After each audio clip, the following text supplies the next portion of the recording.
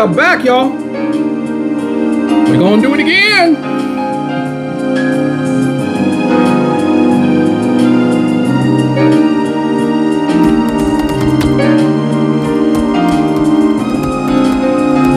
We're gonna do it another again. Yes, we are back. Uh, in the studio one more time. Surely. Uh, how y'all doing tonight? We're back for another episode. Yes, we are. We sure are. I hope, I sincerely hope that you all have had a great week since the last time that we talked. Hope, hope everybody has been in great health, great spirit. And uh, we're going to go on ahead and continue this train. All aboard! Train is about to leave the station. Yes, it is. Because we're going to pick up where we left off on last week and we're going to talk about some more stuff I tell you what, you all are simply amazing. I got to say it. You know, on last week's episode, we were talking about deceptive pastors and lying pastors and kind of piggybacking off of piggybacking, excuse me, off of the video that I uploaded about the ego-driven pastor shaking his tail feathers in front of his members.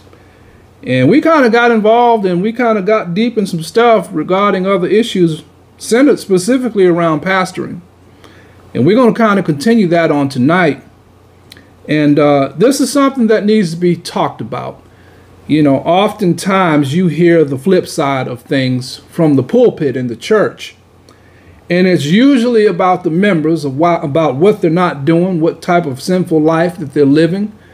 Usually you're sitting on that side of the uh, issue. Well, very few messages or very few talks or very few conversations that you will hear that are actually centered around the pastor and his sinful nature. So I'm not here to try to create a environment, if you will, that's church-like.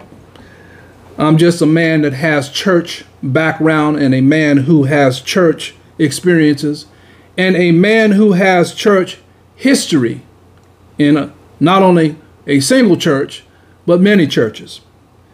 That is giving you some perspectives on things from a point of view that you quite not, that you haven't quite heard, maybe from a pulpit. So I'm kind of here to show you a few things that maybe you may have uh, not quite thought about, or maybe you have thought about it and you never said anything or even dared to say anything because of some of the things that I mentioned in that last video. Being scared. Don't be scared. We're going to talk about some more of that tonight. Yes, we are.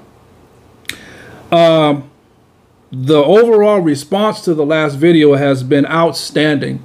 Uh, the questions, the comments, the likes and shares that you that you guys have, you know, contributed to the actual video, I appreciate it. Thank you so much. You know, you guys are listening. Apparently, something that I'm saying is is helping some of you all, at least some of you all.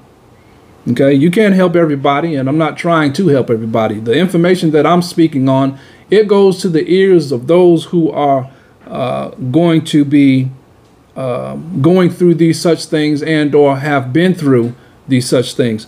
Those are the individuals that is going to, you know, the, the, the information is going to fall on. They're going to hear that. So we're going to kind of pick up. We ain't going to spend a lot of time here. We're going to just jump right into um, some of the topics that I was kind of talking about on last week. Uh, I wanted to touch more on the being thrown out of church. Uh, that seemed to be a very hmm, sensitive as well as um, point that was talked about that seemed to have got some people stirred up. That's okay. You know, I'm here to stir you. If you want to be stirred, then by all means, I'm going to do that. Because I'm not going to sugarcoat the issues because it's, you know, dealing with your pastor or you know it's your pastor and you have a problem with it. That's your problem. You got to deal with that. Uh, my suggestion to you, sir, or you, ma'am, is pray about it. See what the Lord have to say about it. If you're sincere and you basically are sincere with knowing the truth of issues and, and matters, I don't think that God is going to deceive you like your pastor. I think that God will actually, believe it or not, you ought to try it. I believe if you sinly, if you are uh, uh, truly sincere and you want to know the truth on issues, I believe God won't deceive you like your pastor. I believe that God will actually show you, whether it's through this video or whether it's through somebody on the street and somebody says something on the job, or you're just in the grocery store getting you some cereal, eggs, cheese, ham, and somebody stops you and tells you something that was related to this video, God will let you see. He'll let you basically be, you know, uh, inspired by what you're hearing because you'll you'll get confirmation on it. God ain't to deceive you. No. He's not in the business of deceiving people. I think a lot of you all don't want to ask the Lord about this, a lot of the stuff that you hear being talked about. You dare not ask the Lord about it because you you feel like somehow another your mind has linked that to his judgment too. I talked about some of this last last video. Y'all think that doing the right thing is going to bring about God's judgment because you've been programmed to feel that way. You have a man, a pastor, who has somehow programmed you to thinking that you can't question and or say anything about his wrong or what he do because that brings about God's judgment because that's God's man of God and he gonna deal with him. Nobody's saying that you are supposed to, uh, by all means, you know, uh, do X, Y, Z, and you know, get get involved with all the specifics of you know pastoring. We're not talking about that. We're talking about simply seeing it for what it is and questioning it. But I believe that if you truly want to know, yes, if you truly want to know the truth on issues, why don't you bypass your pastor? Try that. I dare you. I dare you. Yes, you, sir, ma'am. One looking at me now, trying to see what this video is about and if it's something that you can utilize, something that can help you, or maybe something that you can take back to your pastor and show him, hey, pastor, I dare you to bypass him and go to God for yourself. I dare you. What, you don't want to do that? You afraid the Lord might show you that this information that's being put out is actually the truth? You afraid that the Lord Jesus Christ might actually bear witness to what's being said here and that is the truth? And then that would throw that, that would overthrow your faith because everything that you had invested in your God, your pastor, is got to be thrown away and discarded, put down the drain. You're afraid that you might have to do all of that if the truth is actually known. So no, you don't want to know it. Some of you, you don't want to know it. You already know it, but you don't want the confirmation from God because then that would destroy your whole program. You'd have to do things differently. You'd have to take accountability then. You'd have to leave that church or you'd have to hold your pastor in accountability. We don't want to do that because we have our comfortable uh, religion that we go to every week and we sit up. And as long as, you know, we ain't being bothered and the pastor ain't rebuking us and we good, we ain't saying nothing. We good. Uh-huh. See, some of y'all, y'all, as I touched on last video, y'all do church well. Y'all do it real well. Y'all have perfected the face, the movements. Yeah, all of that. Hmm. Y'all got all that down pat. Don't mean nothing. But that's what you've been trained to do. Feel the anointing. Not be in the anointing, feel the anointing. So with the anointing, comes a face movement and comes a, a jolt and, and, and you know certain movements and certain faces. See what we we got to show the people that you know we somehow anointed and we you know God is touching us. God ain't touching you. He ain't doing none of that. Stop playing with God. Some of y'all been playing church so long that it's become second, third nature to you. You go through the procedures. I talked about that in the last video. You go through the procedures. Go up in the church and get excited over a song. You ain't no different than being in the club. Getting excited over a song. That's emotionalism. You can have emotionalism without having anointing. And that's what a lot of these churches are experiencing. You got a lot of emotionalism going on. And don't get me wrong, we all emotional, especially us black folks, with our history, where we come from. You know, we naturally have a natural movement to ourselves, and we, you know, we're rhythmic.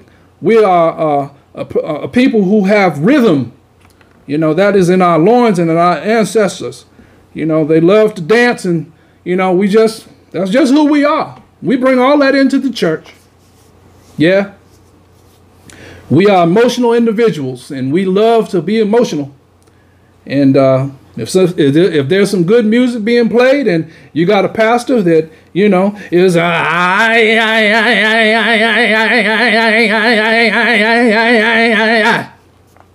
hmm. Oh, we're going to pack them out. Sure. It's all emotionalism. You don't see Jesus doing none of that. You didn't see Jesus doing none of that?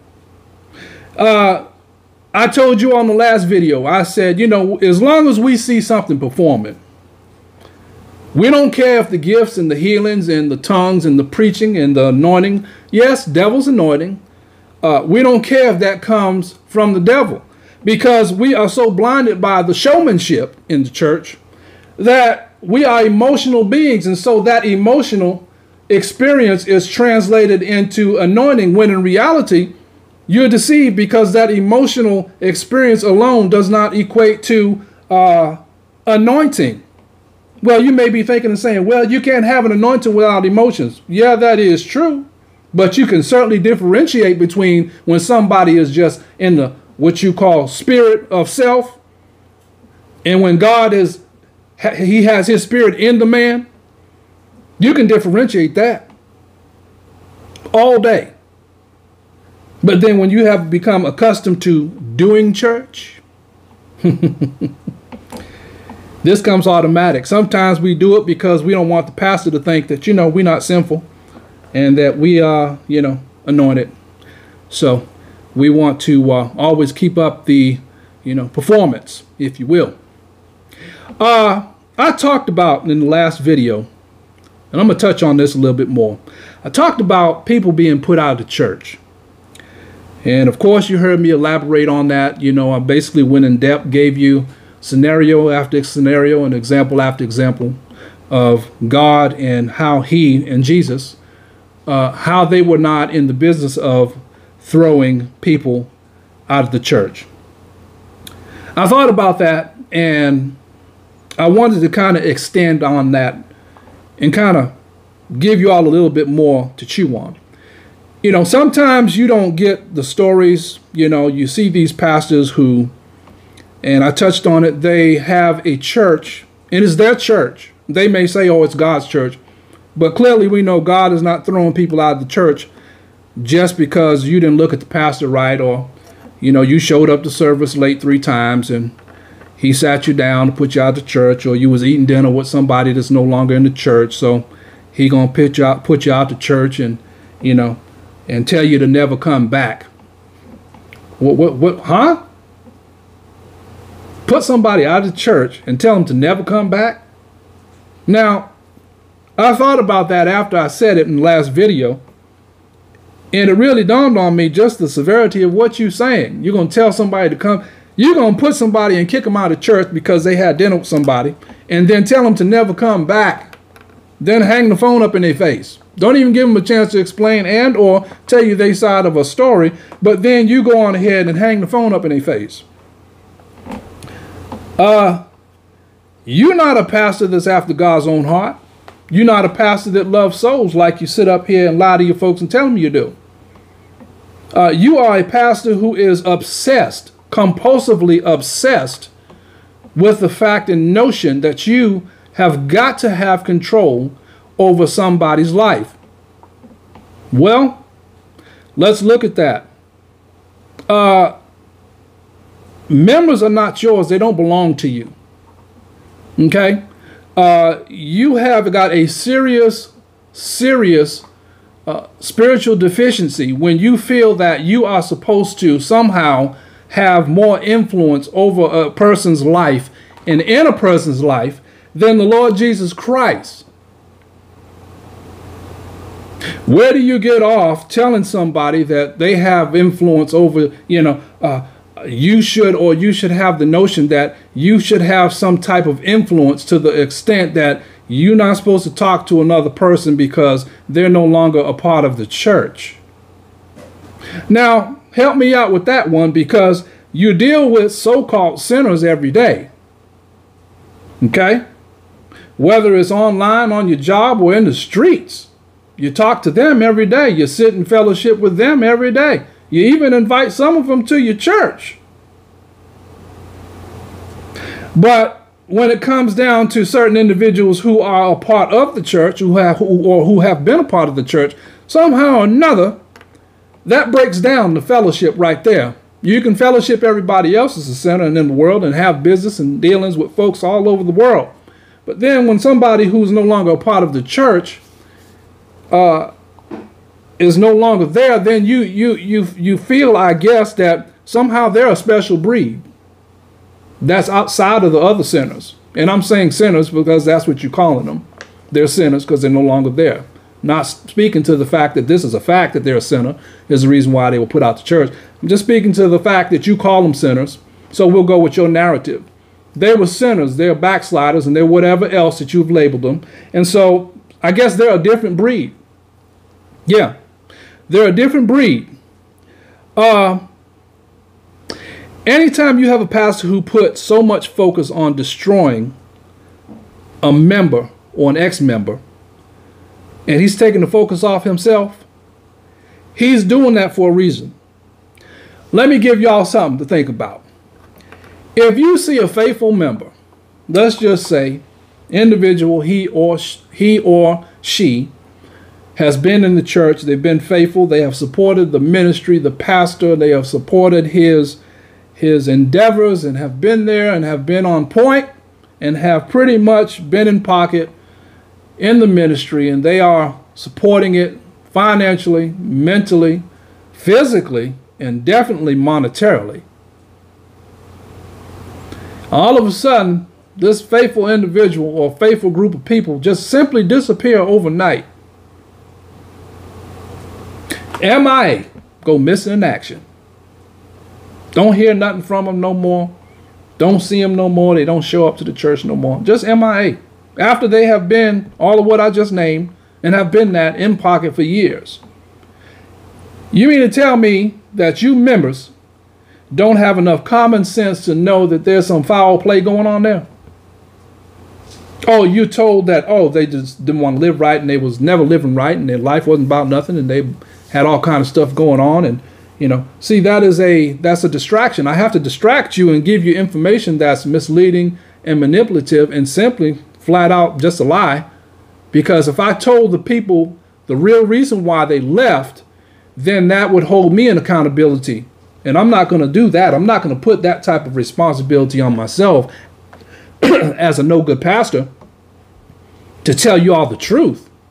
No, because see, I always have to keep the focus off me and I have to give the impression that I'm always pastoring and I'm perfect and I'm doing the perfect thing 24 7, 365 days a year, 24 hours in a day. I have to keep y'all with that, you know, uh, impression of me as a pastor. So there's no way that I'm going to put the spotlight on me to say that I contributed and or I was responsible for some things that perhaps I was confronted with as a pastor that I didn't want to have anything, you know, to, to do with. I didn't want to, you know, uh, challenge those things because I knew that what was being asked of me was truth that I couldn't, you know, refute or debate. So I ain't going to get into all of that. I'm just going to try to, you know, point to you all and let you see a narrative and a, a storyline that is uh, false. Uh, Spiritual manipulation and foul play at best is what that is. Why do you say that? In fact, let me break it down for you. What is spiritual manipulation? What is foul play? Well, that's simply that you have an individual. Let me give you an example.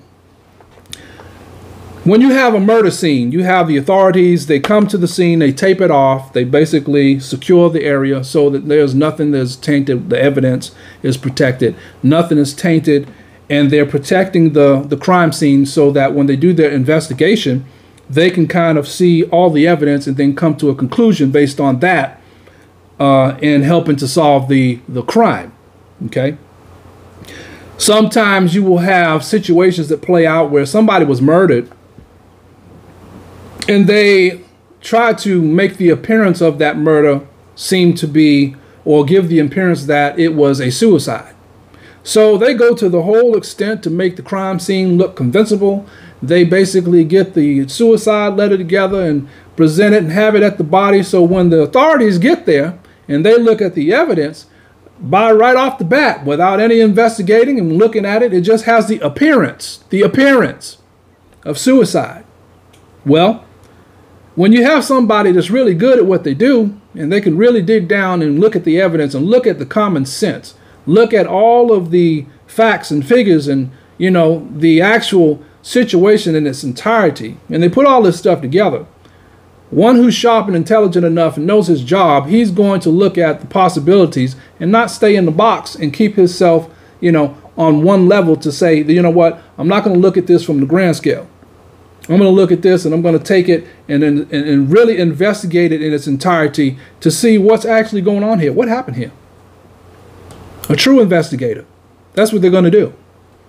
Uh, these are the ones that solve crimes that appear that basically somebody has committed suicide when in reality they were murdered.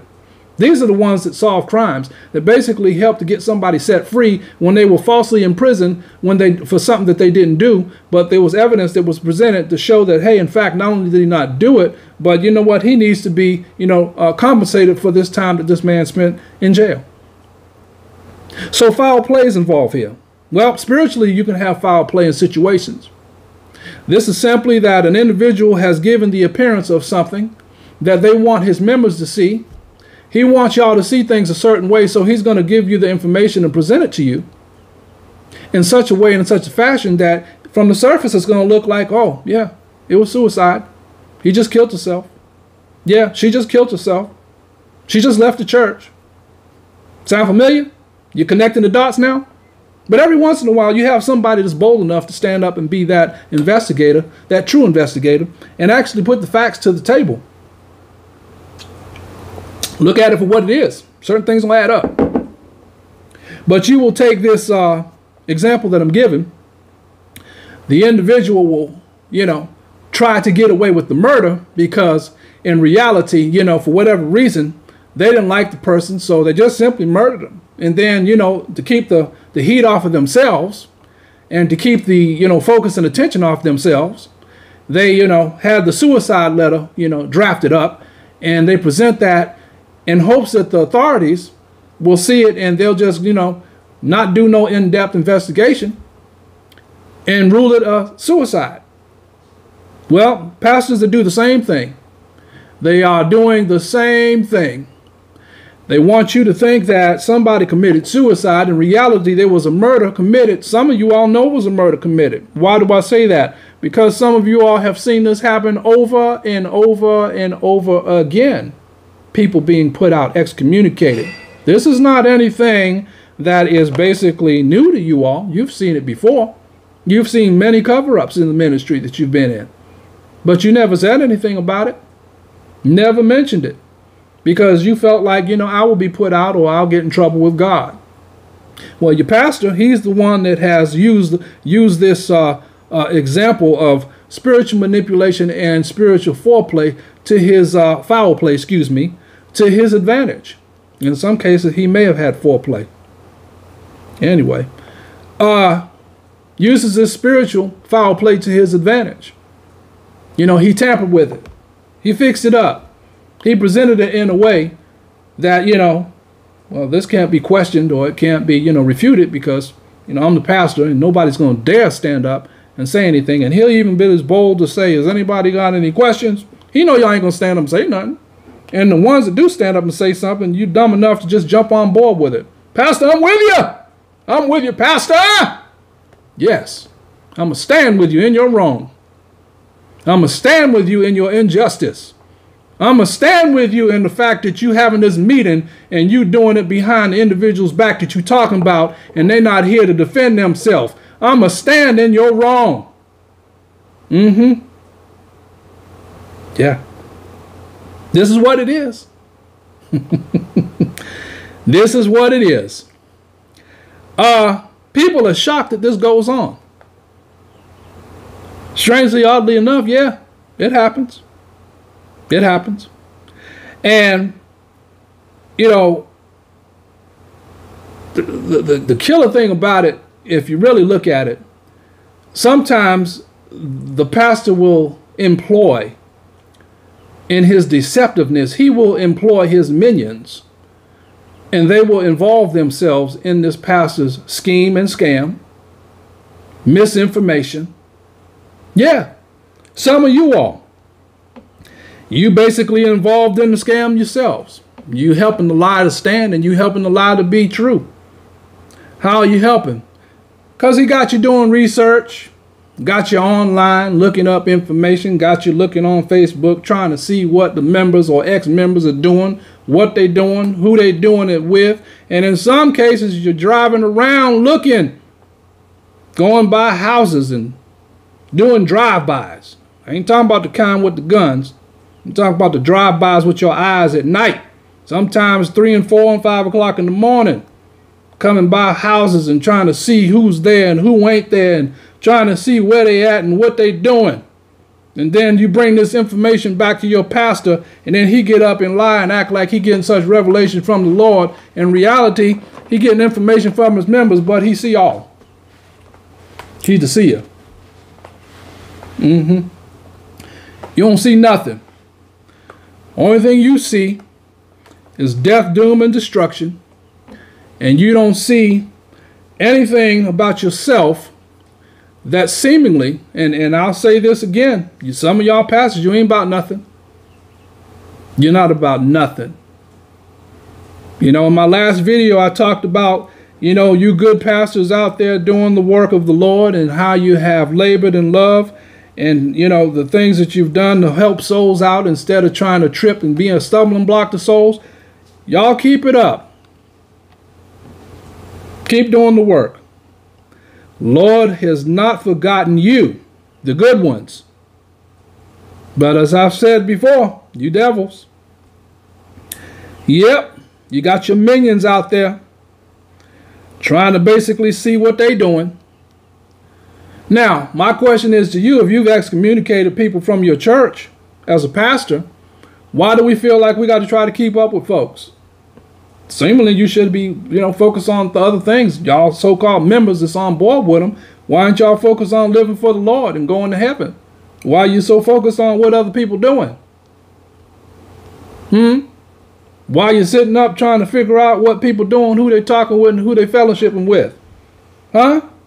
Your life is so boring, it is so, you know, uh, drastically unimportant that you have time in your life to, to sit up and try to, you know, be a, a private investigator, spiritually and mentally and physically, to try to assess what person what a person's thinking, what they're doing, and who they're doing it with. Some of y'all members have been duped. You agents, you are minions. I mentioned this in the last video. Video. You're minions.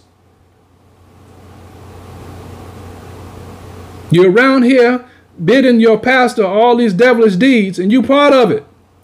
You're not helping to solve the problem. Are you helping? Are you looking at all these things and are you investigating all these things because you want to see the person saved and, and back into the church where they can live saved and, and basically make it to, to, to be with the, uh, the Lord Savior Jesus Christ in heaven? Is that your point? Is that your, you know, your whole purpose of, for, for, for doing that? or you basically just trying to be a, a garbage collector. Mm. You collect garbage. You know, you like the man that ride on the back of the truck. You know, he got a route that he go and pick up trash. Everybody's trash. Uh-huh. You on that spiritual garbage truck. You ride around and basically look for garbage that you can find and then you can bring back to the collective so it can be sorted out, see what we can use. Try to get something on somebody. Y'all just as sorry as the pastor. I actually feel sorry for you. I do. Uh, if you realize the scope of this man and who he was and the actual things that he's doing don't have nothing to do with God, you would quickly realize that you would, you know, you wouldn't even associate yourself with such things, with such people. Why don't y'all have more value for yourself? Why don't y'all have more self-respect for yourself than allow a man to use you like that and allow a man to basically tell you anything that's to the destruction of, you know, everybody else in the world. There's nothing wrong with us. There's nothing wrong with my pastor. There's nothing wrong with this church. But you don't have any growth in it. You ain't had a member join the church and stay there in 11, 12, 15, 20 years. And you think it's because don't nobody want the gospel. I touched on this. That ain't it. That's not it. God have many sheep that's not of that fold. Not at your church. So how is it that he only going to speak to you in that church if he got other people that's not from that fold? That right there is a contradiction. That right there should tell you something. When you hear your pastor stand up and tell you that God only talking in this place and he only talking to me, that right there, just giving you common sense. I gave you that one for free. You're welcome. He got other sheep that's not from his fold. So who are they? certainly they ain't the building that you at. So what your pastor talking about that God only talking there? That you only gonna be saved there? Hmm. Boy, y'all need to wake up. Y'all need to wake up. Uh, and you understudies. You know, the foundation of the church should be the brethren. They should have the uh, uh, spiritual fortitude and the strength, deacons and, you know, uh, individuals that are under the pastor. Y'all should be the ones who are the backbone of the church, not just to do the labor either, not just to cut the grass. If you're good enough to cut grass and plant plants and, and, and do keep up the Lord's house and vacuum and, and, and clean the toilet bowls and do everything else uh, uh, that's required of you, then you should also be required to basically keep things in check when your pastor get out of line. Why y'all weak brethren not saying nothing in these churches? You sit up there and let your pastor sit around in roundtable discussions week after week after week, sit up and trash preachers, sit, sit up and trash members, ex-members. Y'all sit up there like zombies and nod your head. Yeah, pastor, you show enough right. Mm-hmm. You show enough right. Mm-hmm. Yeah, pastor. Mm-hmm. You know, pastor, I thought about that. You know, that's just right. Everything is right. Everything you're in agreement with. You know he ain't right. Then as soon as you turn your back, this man at another table talking about you. Talking trash about you. You watch the man sit up and invite people to your church, and basically they come to the church, and whether they're invited church, whether they're invited minister, whatever the situation is, and, and sit up and, and cheese and grease with the people and the guests, as soon as they turn their back, he trashing them. Now tell me where you saw that in the Bible. Where did your Lord and Savior Jesus Christ do that at? When he sat around with the disciples, most of the time he was talking in parables, giving parables. He wasn't sitting up trashing individuals. You don't even see him in the last uh, the, in the last situation with Judas. He sat around with the church and he gonna trash Judas. Or anybody else for that matter. I gave plenty of examples. Plenty of examples in the last video. The woman that was caught in adultery. He didn't trash her either. Didn't trash her.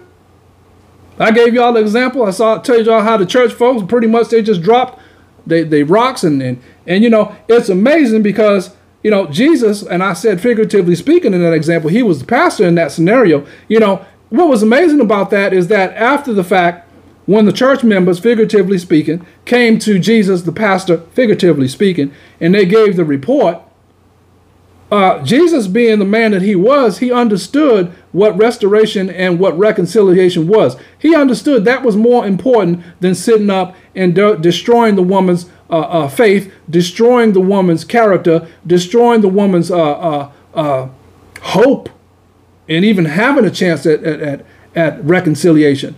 How you as a pastor going to sit up and destroy an individual and throw them out the church and then take away the hope and restoration that they would have. Now, it sounds to me like you think you have the keys to grace And if I like you, then I'm going to extend the keys of grace to you. But if I don't like you, then somehow or another, I'm going to take back the keys and grace to you, and you can't be restored into the kingdom. Who are you?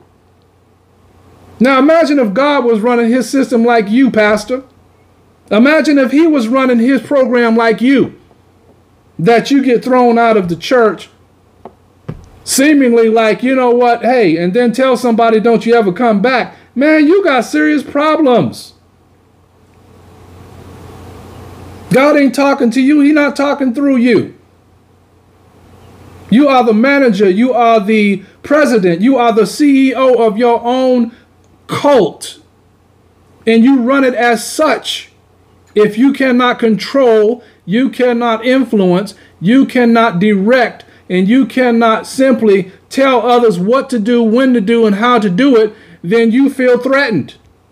Some of y'all pastors, you know what I'm talking about because I'm talking to you. The ones that's looking at me right here. Yes, right here.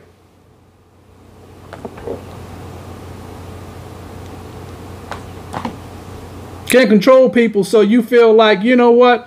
Those that are intelligent enough to understand your, your con and your hustle, you got to get rid of those people. Why? Because you don't want to infect the dumb down people that you already have under your spell. You don't want them to see that, that they can actually have liberty and freedom. That they don't have to eat, you know, an apple if they don't want to. They don't have to feel like they have to eat an apple. I don't even like apples. But you're going to make me eat one because you think that I should. I like oranges. That's what I'm going to eat. And I'm not going to feel bad or obligated to eat an apple because you feel like I should eat one. I'm just giving examples.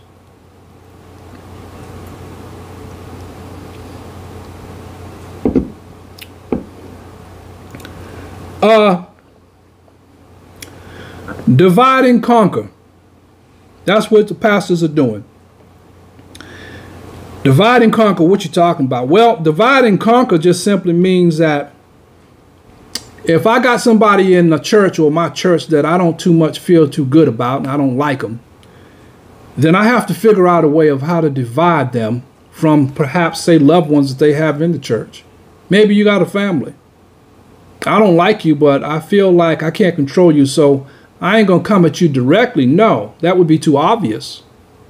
So I'll come through the back door. Maybe I got a family member. Maybe I got a child that I have more influence over than you as the parent say do. So I'm going to go at that child and I'm going to basically address the child and I'm going to go at the child in such a way that's going to have the child acting funny and, and indifferent towards the parent. Why? Because I don't really feel too good about the parent because I can't control the parent. The parent actually has a mind not that he don't have a mind or she don't have a mind to follow what the gospel is and what Jesus Christ is, is, is, is advocating, but they have an individuality personality and they have their own mind about things, seeing things for what they are, questioning things.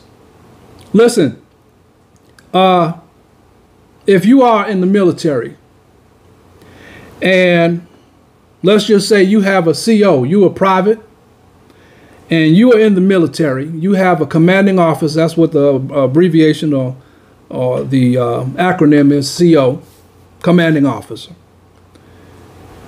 And you have a problem with that CO. And then you as a private, you go to that CO and you ask, hey, look, can I speak to you? I have some things that I want to talk to you about. CO agrees with you. You know, y'all go behind closed doors or you go off to the side. And the private says to the CEO, hey, listen, permission to speak candid and blunt. And the CEO says, permission granted, private. Well, at that point, the reason why that is done is because the private understanding the ranks and the authority that the CEO has, he wants to talk to the commanding officer in a way that's off the record. He just wants to express himself because he, he wants to tell it like it is and he don't want to be held accountable and thus he says permission to speak, you know, blunt. Permission to, you know, speak candid, sir. And you grant that permission, then at that point, all bets off. We're not talking about private to CEO. We're just talking as two men, two women, whatever the situation is. So at the end of this discussion, you get mad, you get offended as a commanding officer, And not only do you not take it off the record, you put it on the record and you take it back to the rest of the platoon and you present it to the platoon as if this this this private was disrespectful to you and he basically was out of line. But you as the commanding officer told the private that, you know, he could speak candid to you. You told him that. You told her that. Okay? But then you get up in front of the platoon and you lie. You say that the private was disrespectful. And then on top of that, you give him a dishonorable discharge. Where does that happen at? And what military does that go on? Because the private had something to say to the commanding officer, who, by the way, gave him permission to speak his mind. Then he turns around and takes what he said to him and try to utilizes it to basically uh, uh, give him uh, a dishonorable discharge and then talk and tell the rest of the platoon that, you know, he was very disrespectful. You a liar. You're a liar. So if that don't happen in the military, and I'm giving this example to basically make a point as a pastor, why do you get before your people and you tell them lies about members that were no longer part of your organization when you know certain things didn't go down the way you talking about they went down? Why is it as a pastor you feel that you have to totally dismiss yourself from any accountability and responsibility and how members are falling by the wayside because you have, as a pastor, been a stumbling block, but you don't want to take accountability? You want to put it off on the member or members. Must have been something they did. And you members, you so dumb and stupid and dumbed down. You know, it always is the assumption that, oh, it must have been something that the member did because, you know, our pastor, he's anointed of God. There's no way that he's not way, there is no way possible that my pastor could have said or done anything to infect or affect the reason why a member has left the church. And if you believe that, you might as well believe that elephants can fly too. Because at the end of the day, I don't care what you say about your salvation, you are entitled and you have the ability, contrary to what you hear, to make errors. Errors are going to be made. It's not a problem in making the error. The problem comes in is with you you know, when you as a pastor makes an error and you turn around and try to, instead of taking the responsibility, put it off on the member. You know, different than Joseph's brothers that tried to basically kill him and put him and leave him for dead and then take the report back to the father as if some wild animal had got him and then even go to far as to manipulate and take the man's coat with blood on it to try to convince the father that indeed his son was dead when y'all left him for dead. Hmm. Isn't that funny how that story happened? But in the end, they had to come back to the very one they tried to kill and left for dead. Be careful. Be careful who you discard and who you throw away because you never know how that merry-go-round comes back around. Apparently, we haven't learned that yet. In all these years in preaching holiness and in salvation and speaking and preaching the word of God, and yet we still have in our hearts this hatred for man to the point that if we can't control them, why are you so bent on controlling anybody's destiny or anybody's mindset or anybody's decisions in life, anyways? I talked about the marriages in the last video. You get a pastor that gets between two husbands and wife, gets between a husband and wife. This is what I talked about just a second ago with the children. Divide and conquer. So you get a pastor that don't like one spouse and he got another spouse that's on his payroll, figuratively speaking. That means they will pretty much, you know, do whatever it takes to stay in the good graces in the eyes of the pastor. So they are little agents, little minions. They run back and pretty much report their spouse to the pastor on every issue. Huh. Your spouse passed gas. Pastor, I got to report this to you. Yeah, he passed gas last night. Uh huh. I just want you to know that uh, he passed gas and uh, had the whole house smelling. Yeah. And uh, Pastor, I just want you to know that because, uh, you know, he might come to the church and pass gas. I just want you to know that he the one that's doing it.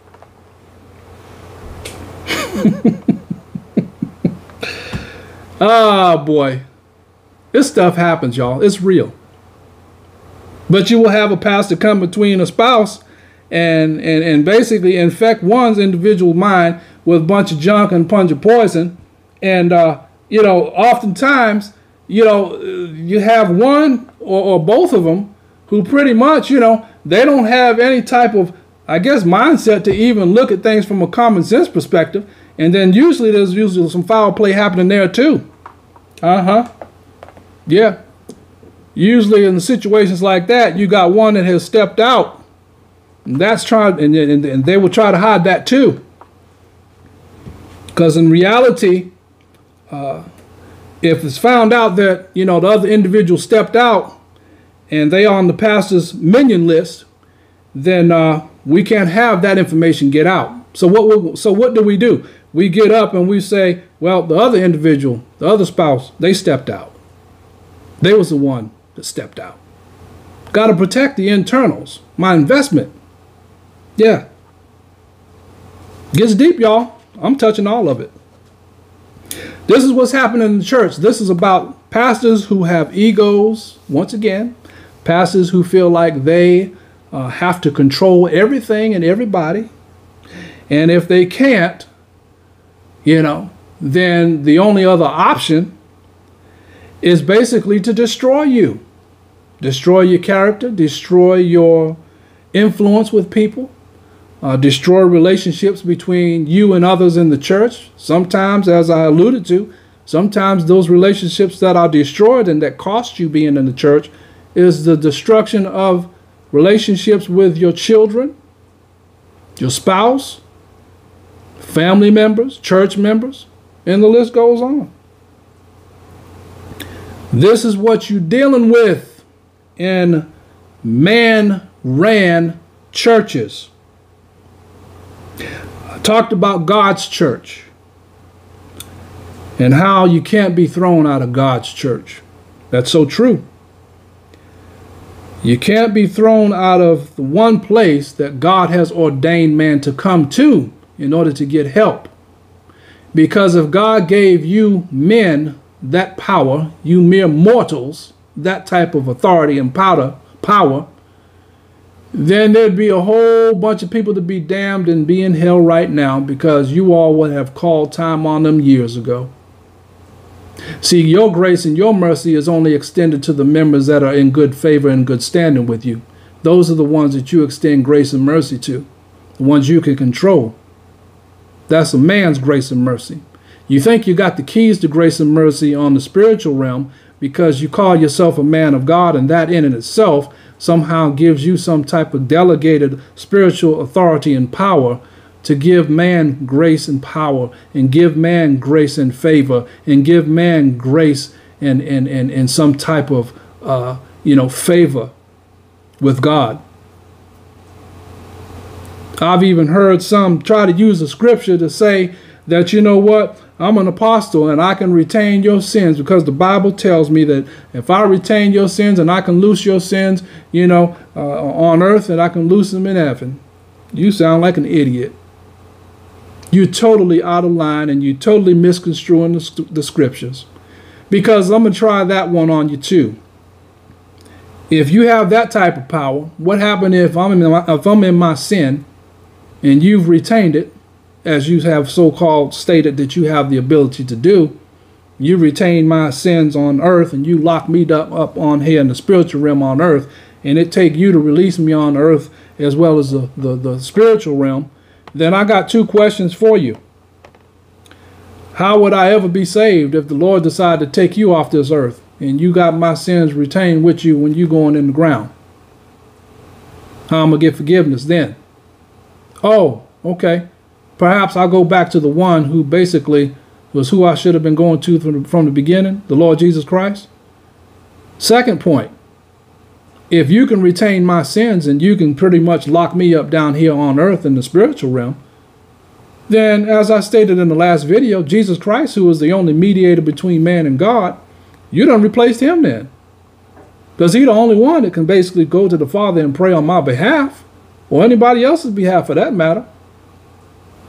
So how is it that you have replaced him? I guess I got to go through you as the pastor to basically get my sins forgiven because you don't feel like I should have them forgiven. So you get up in the church and have people standing in fear and scared because you done said, I've retained your sins and I basically hold you in spiritual prison and spiritual hostage until you do what I feel is right in my eyes. And then I'm going to go and release it on the spiritual plane and God going to forgive you up in heaven then. Then what is Jesus Christ?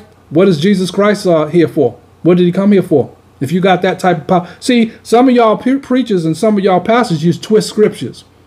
You have people that are ignorant, dumbed down, simple-minded people faking this stuff, but then you forget that you can know on one hand that this is the word of God and Jesus who is the mediator between God and man, and he's the one that died on Calvary and died at Calvary and basically set man free with what he did in the redemptive work. Somehow we forget all of that when we're listening to an idiot like you talking about you can retain a man's sins. Y'all need to get educated. My people, they, they perish for lack of knowledge. God alluded and he told us that, and it's so true. You sit up in church and listen to your pastor tell you this dumb stuff.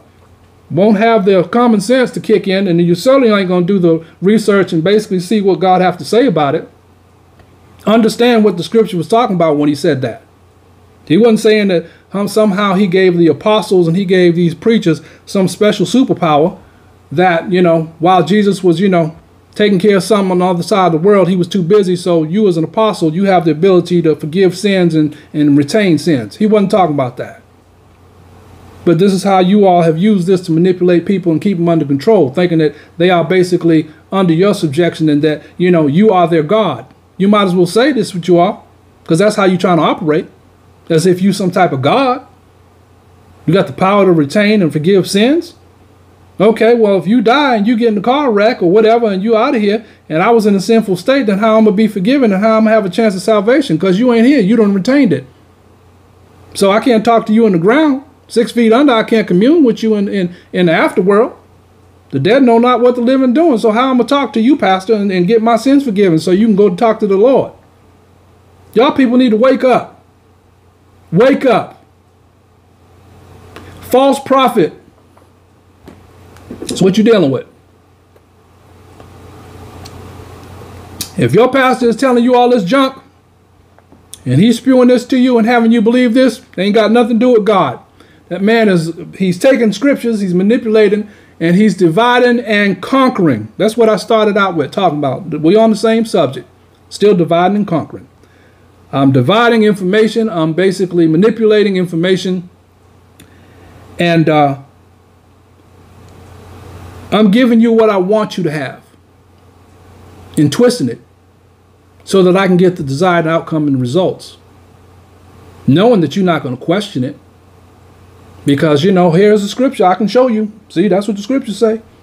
Rightly dividing the word means studying and understanding the context of the word. Because clearly, at the example I just gave you, that cancels out the whole notion that the man can basically retain your sins. He's not literally figuratively talking about a man can do that today because if he could do that, then my goodness, you'd have a whole lot of uh, tyrants around here. You know, you don't look at me the right way, you don't do what I feel you should do, then I'm going to retain your sin and I'm going to, you know, lock you up in hell because I don't like you. Or you mess with one of my favorites.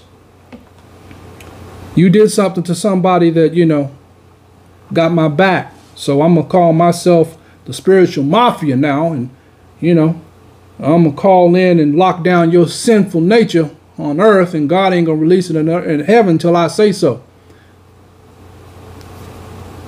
Uh, anything that a man can do, has done, will do, Jesus already covered it.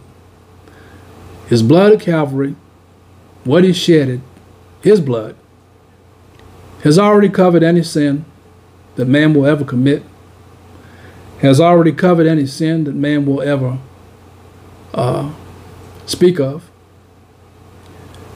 And the only one that is not covered is blaspheming of the Holy Ghost.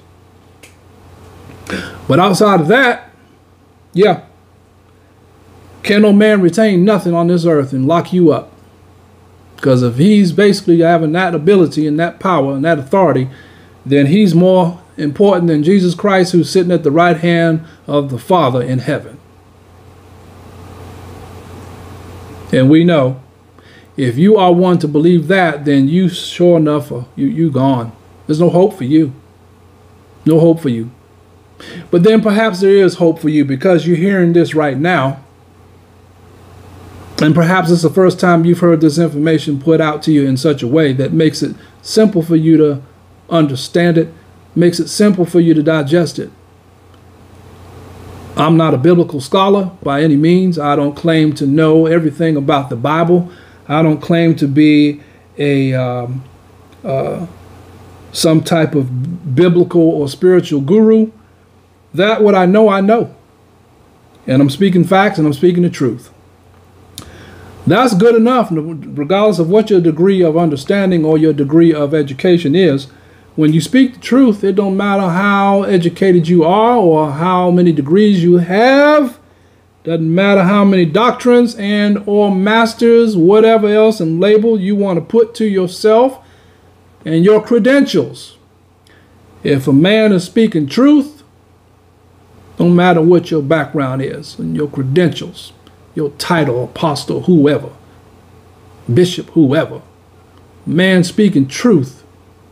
The truth outstands and outshines anything and any kind of title and respect you think you have from man.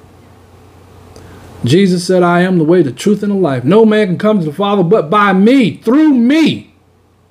So he done canceled out your retaining sins, Pastor. You can't retain nobody's sins. You ain't got nobody in a spiritual prison because you don't like them. So you want to basically have them come before the church and sit up here and lie and acknowledge you. Y'all, some of y'all members are actually dumb enough have done it and too dumb enough to understand.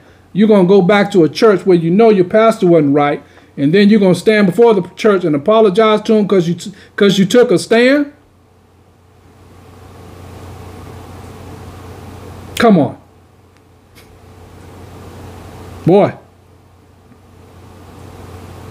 Hmm.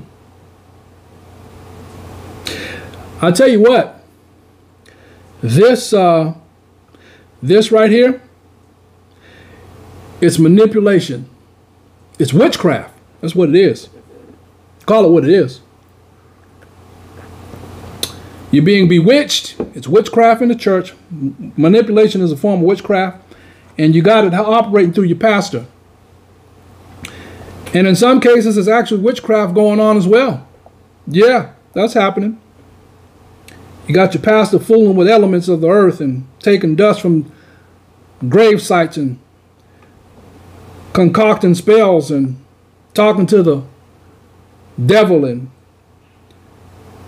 and entreating spirits try to bid him what he want to get done. It's going on. Yeah. See, this is the type of sick, twisted mindset that some of these pastors have. See, uh, when you're that far gone, there's nothing that you won't do. There's nothing that you won't engage in. And you don't mind, and, and certainly the enemy don't mind you preaching holiness. He doesn't mind you doing that at all. In fact, he needs to have some type of cloak in place in order to pull all of this off. So what better cloak to use than holiness? Quite brilliant if you think about it. Use holiness as your cloak to basically function in the dark uh, corridors of Satan's kingdom right there in the church. This is why you have pastors that can simply do anything and everything to their members and have no conscience. Uh, you're out here going out of town and taking road trips with female members, locked up in the hotels, having sex with them fooling with them, going out of town with your family members, having your sexcapades, episodes. Mm. You don't think nobody know about this stuff. The stuff your pastor doing. I told y'all at the beginning of this broadcast, if you want to know the truth, and you don't want to be deceived about anything, and you want to know what's really going on in the corridors and in the shadows of the church and with your pastor, and the lineage and the dark secret history of the church, all you got to do is be sincere and ask the Lord, and He'll show you these things. I told you in the last video and quoted, The Lord showed me, Call unto me, and I'll answer thee and show thee great and mighty things which thou knowest not. You think scriptures like that are there for you basically to not utilize with sincerity and that he won't show you things? Like your pastor doing everything that he can think of to do? Sick, twisted, demented, mental problems, conf conflicted spiritually? But in the whole time, he's using witchcraft and manipulation and he's using all of these things to keep his members in the dark. And from y'all's perspective, you don't even understand and you don't even know it because you sleep. You don't understand what's going on, the, the, the, dark powers that's at, at play here. You don't understand all this stuff. Because you don't seek the Lord. You don't have a close enough walking relationship with the Lord to see this. Because everything and every answer that you get, you get from the pulpit. If some of you actually would take the actual courage and dare even step outside of that realm, of things and, and, and actually seek the Lord for yourself, He'll show you the stuff. You won't be deceived. This is why He left that there for each and every man. Seeking out your old soul salvation. What is He talking about? That's what He's talking about. He didn't leave that totally up to your pastor. Or rather, to strike that, He didn't leave uh, the responsibility totally up to your pastor and for you to totally depend on that just that alone. Because at the end of the day, you can sit up and say, well, my pastor told me this, and, you know, he was a man of God, and I thought this and I thought that. And, you know, I had these, I heard the prophelias. Yeah, I said prophelias. Get up and say something in relation to the, the man of God. Well, let's examine that. Oftentimes, when you're in a church like this and you have a man that is uh, a liar, he's deceptive. He'll have those those minions again. There they go. There they go. He'll have those minions in place too. Prophelias. Who, who, who and what is a prophelier? Well, a prophelier is simply someone who calls himself a prophet or prophetess who gets up and everything that they got to say, and it's strange and oddly enough, the only time when they get up and say something the Lord only speaking to the pastor and he only encouraging the pastor and everything he got to say is directly to the pastor. Listen, prophecy is about things to come. It basically tells and foretells of what things are going to happen. And then when you see those things happen, glory be to God because he spoke on issues that were going to be. You give him the high honor and high praise because he spoke to his people and warned them.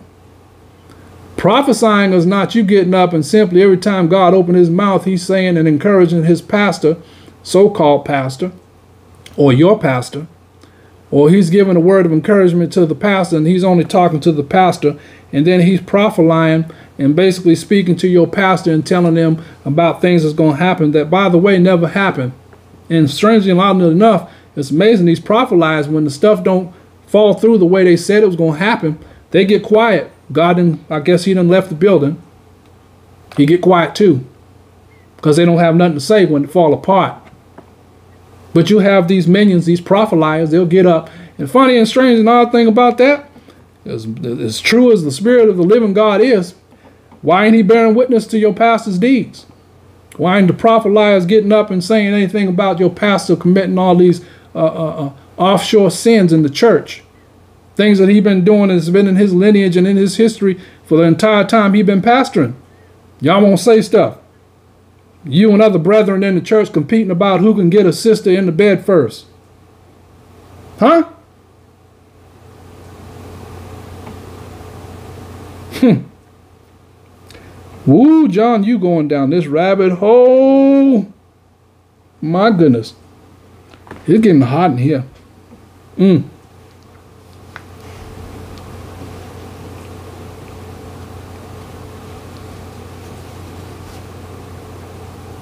Yeah, I'm talking about you, Pastor. But y'all prophelies will stand up and, you know, y'all are what I call his spiritual cheerleaders. You get up and cheer and rah rah, about to have a convulsion and fall out, running around, jumping around, and bucking around like a show horse. God ain't in none of that. Hollering out your pastor's name like he the only one in the building. God ain't saying nothing about what actual prophecy is going to come to pass, but he just talking about your pastor.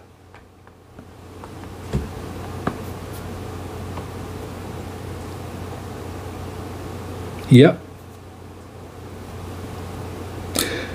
Oh my. Well, these things we need to know. Why? Because when you stand before God, you cannot say that you didn't know.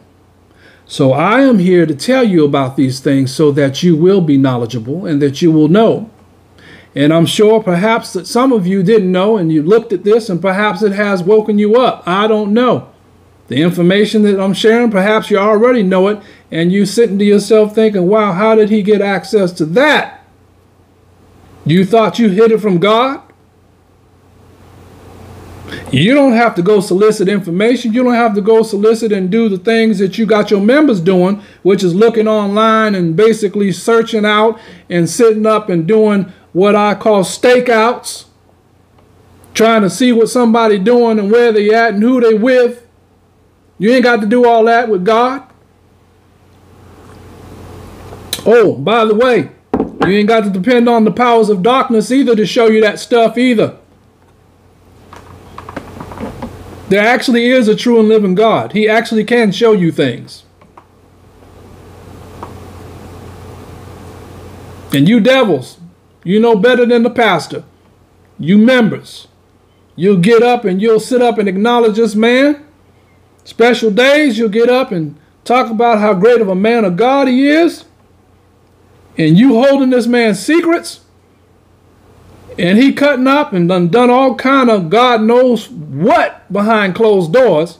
And you know it. And get up and honor this man. You want so bad to have a hero, a champion. You want so bad to have an apostle of the book that Jesus had back in the original 12. You don't see none of the manifestation of that. You never see anything that's, that those 12 did manifesting in this day time, in this day and time. You hadn't seen none of that in, in what, 20, 30, 40, 50 years. And don't tell me about some miracle that you didn't perform back in 1973. And that's the last thing you can tell me about what you've basically been doing. Apostles in Jesus' day, apostles that walk with Christ, these guys were raising folks from the dead every day.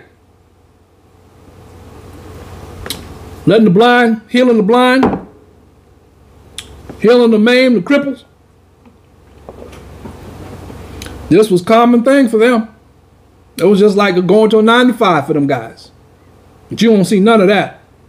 But you all just throw this apostle, this this bishop title, you know, loosely on these men, and you know, this is my my man of God, and this is my apostle this, and this is my bishop this. Prestige, no different than the Pharisees. Pharisee spirit. As I stated in the last video, enjoy it while you can. This is your heaven. I hope it was all worth it. Yeah, all of that low down stuff you've been doing, Pastor. You pastors out here getting your fill, filling up on this iniquity. Yeah, around here stealing wives and sleep with other man's wives and having your fill with destroying families and having your fill with your sex sexcapades and round here just doing everything you big and bad enough to do, aren't you? Yeah, yeah. Enjoy yourself. Yeah, enjoy yourself. I hope it's all worth it. It has been worth it. And all over the years that you've gotten your fill and you've gotten fat off the iniquity and enjoyed all of it. Hope you you uh, enjoyed yourself to the fullest. Because it's going to be a different program when you stand before God and you want to get into his church the one that Jesus Christ is coming back for, the bride, and you want to get in that church, But then he gonna look at you and tell you that depart from me, you work of iniquity, I never knew you. And he gonna throw you out of his church, just like you threw the members out. With no with that same non-grace and that same non-mercy that you had, Pastor. He gonna show you that same non-grace, that same non-mercy.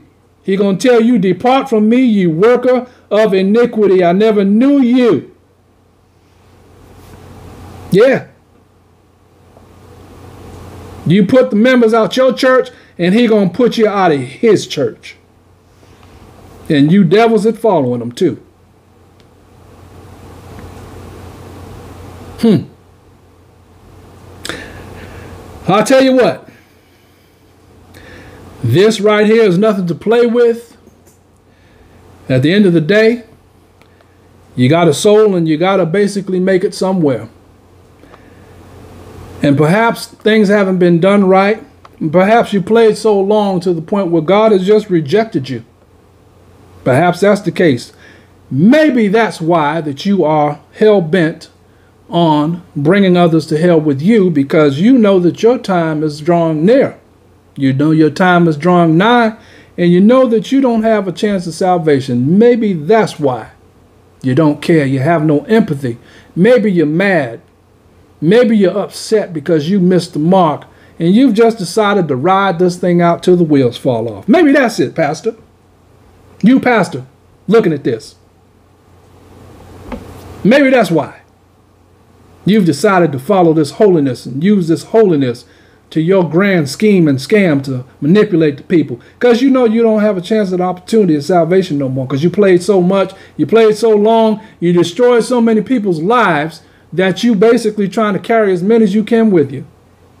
All in the name of holiness. Imagine that. Imagine that. I have an assignment for you members that are in churches that have a pastor that fits this bill. Actually seek the Lord. Pray that he show you that there is no interference sent from Satan to cause you to see things in a different way. Pray that any spell or any type of chance or any type of witchcraft that is used to blind you and seeing things from what they are and from where, where they are in the, in the church. Pray that the Lord remove all that from your eyes, from the natural and the spiritual, so that you can see things for what they are, so that you can see your pastor for who he is.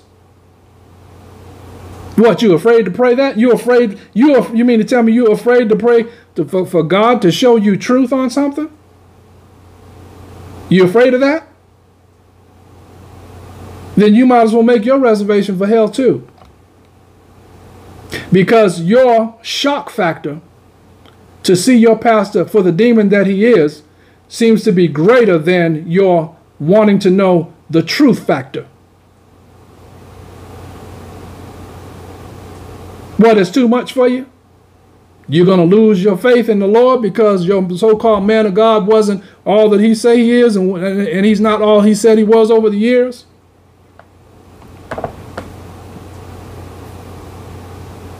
You keep secrets, you know things, and you keep his history. Pastor around here buying you lingerie. For what? Why your pastor buying you lingerie? What are you planning on? You using it? For him? Mm.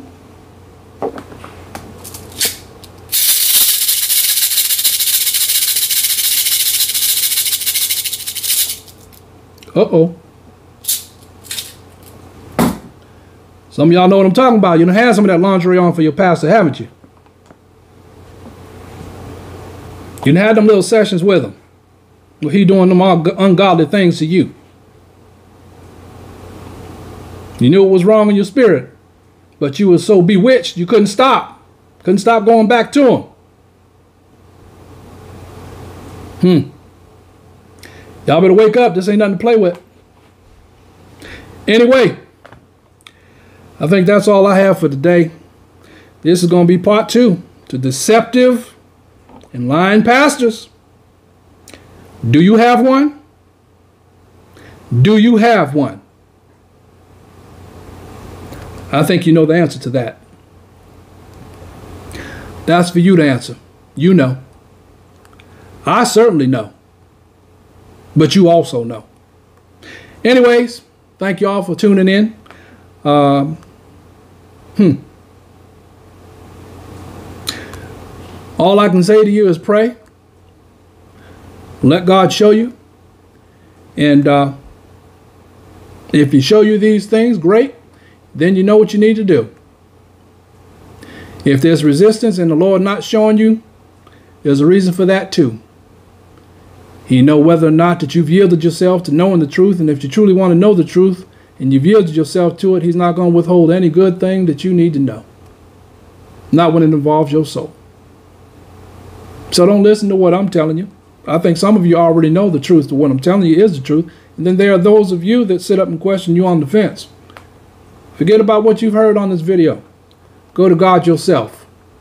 Let him talk to you. See, won't he bear witness? I'm not worried about it because that what you need to know, he going to bear witness to that and some. Yeah, he will. Anyways, it's been good. We've been on another episode here with JW. And uh, y'all be good. And if you need to reach out to me, you got any questions, put your comments or better yet, I think on this video, why don't you all just email me? InformationStationJW at gmail.com. Yeah. Send me your questions. And uh, I'll try to answer them to the best of my ability. And we'll basically go from there. All right. Y'all have a good one. Peace.